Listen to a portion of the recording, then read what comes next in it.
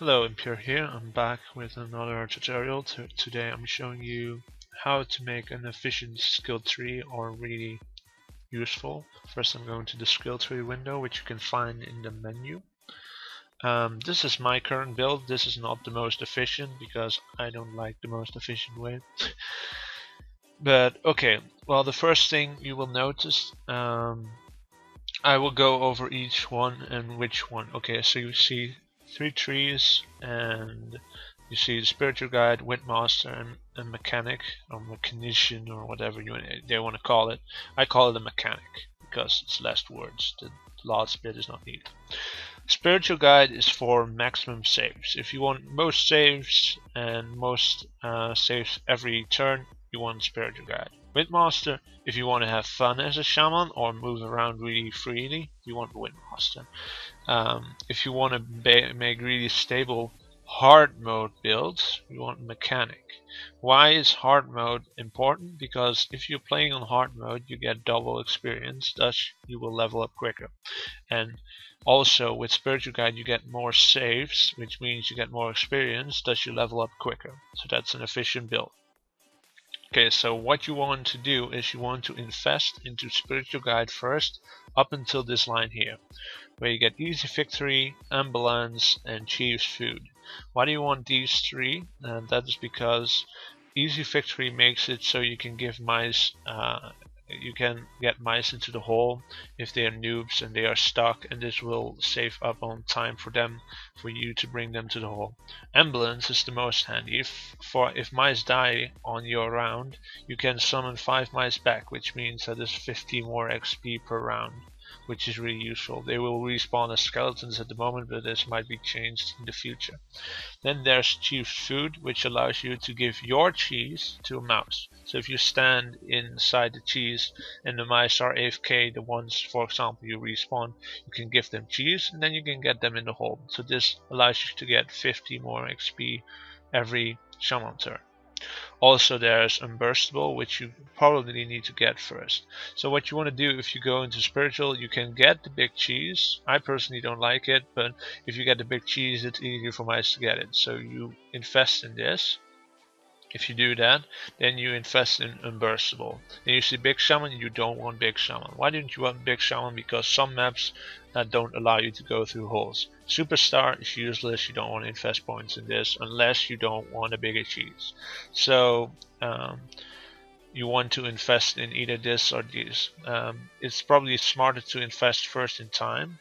So you have to put points in time then you can get unburstable then you have to put four points in big cheese and then you can start here. And if you get that then you will work on this line right here. And you can forget this one for now. Um, and you have to get up until this point. Um, if you get up until this point on this round it's the same with this one what you first do you don't you don't need to invest in big spirits because you're probably playing on hard mode if you want to use the most efficient build. Um, but the second skill here is more useless because you will spawn an extra ball when you're spawning balls. And if, if you actually want to use balls in your build then you probably don't want this feature. So you have to invest in spirits even though you don't use spirits at all. So you have to put 5 points in this, so it's 5 points wasted, but it's the most efficient way. Uh, you don't want this. Then you can either choose to invest in um, heavier anvil or heavier cannon. I like heavier cannons because you can shoot mice with them. And I invest in ice plank because yeah, I can use it. Then you have the stable runes, which I had uh, I explained in another video. You can watch that if you didn't. Um, this allows you to make really stable builds. Um, and with hard mode it's really handy to have something that makes your build really stable because you don't have red anchors galore or all that stuff and when you get uh, choco plank as well you can use that to stabilize um, sides of your builds um, then the thing you want to do, you can invest in better shamaning and like quicker shamaning. You can go further like that. Um, you can choose that path, or you can start on Windmaster.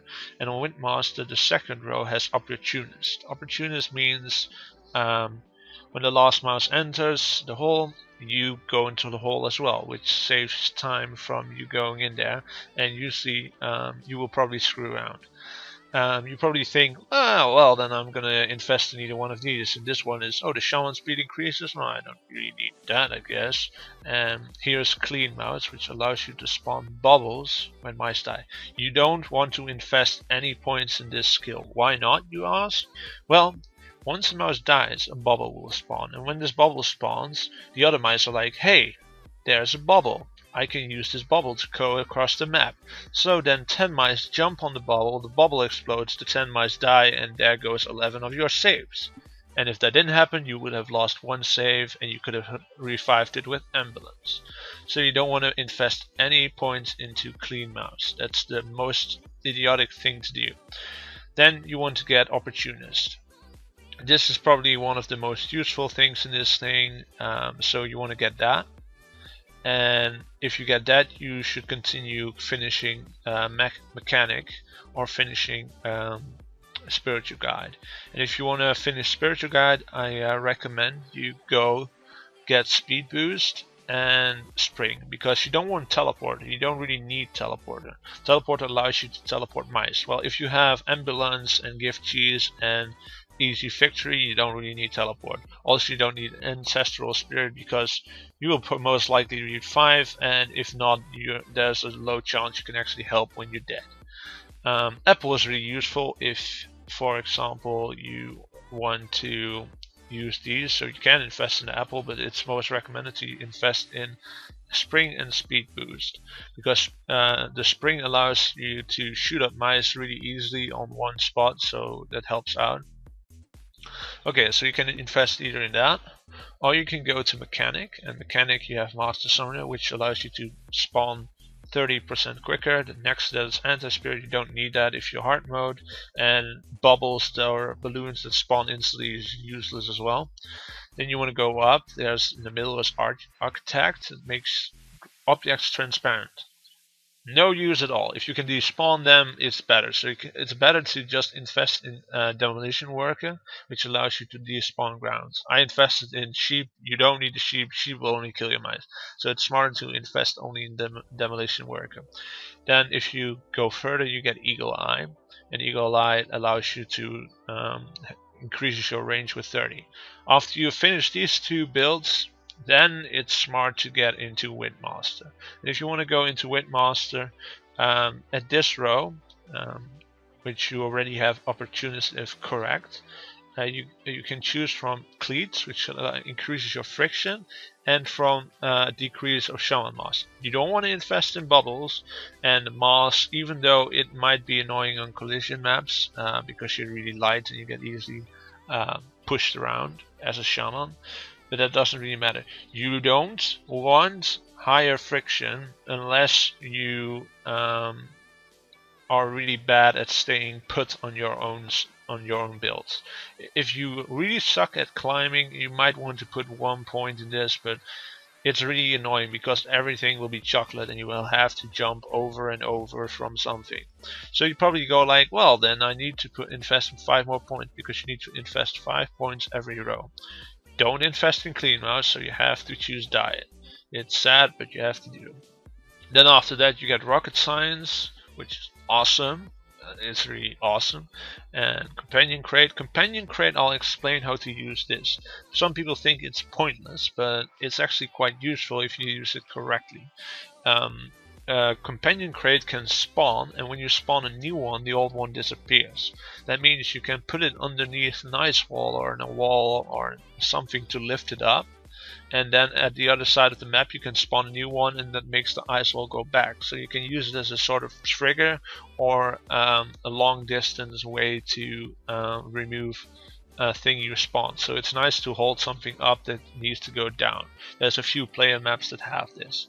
Then personal teleporter, yeah, you don't actually need to invest any points in this unless you really, well, it's good on some player maps, so it might be smart to invest some points in this, but you need to invest points in this to go to Acrobat. You can get smaller uh, planks, but smaller planks are quite useless because, yeah, they're, no, they're just useless. Then you have projection, projection allows you to double tap. Double tap can be dangerous because some players run up walls or run up planks and they push uh, right or left double and then they teleport like 80 pixels through it and a lot of shamans die because they are they are not used to this then after that if you have invested enough points you can get acrobat acrobat is useful uh, because you can move and spawn at the same time.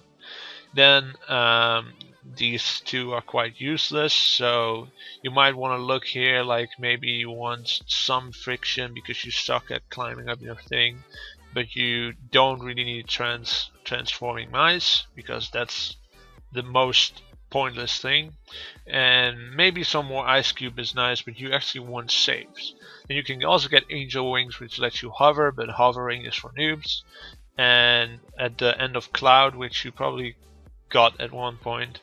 Um, clouds can be stable, but I really recommend working with stable runes. Um, other than that, I think I explained everything in the skill build. So, yeah, I hope you learned something from this. You can also try to do my my build. I um I, I made this this thing I use. I use this because I find it most fun to play around with. Uh, Windmaster because it's fun and I like to have fun while I play. But if I really wanted to be good, I should have gotten up till this point and then put invested into these two. Anyway, thank you guys for watching and have a good day.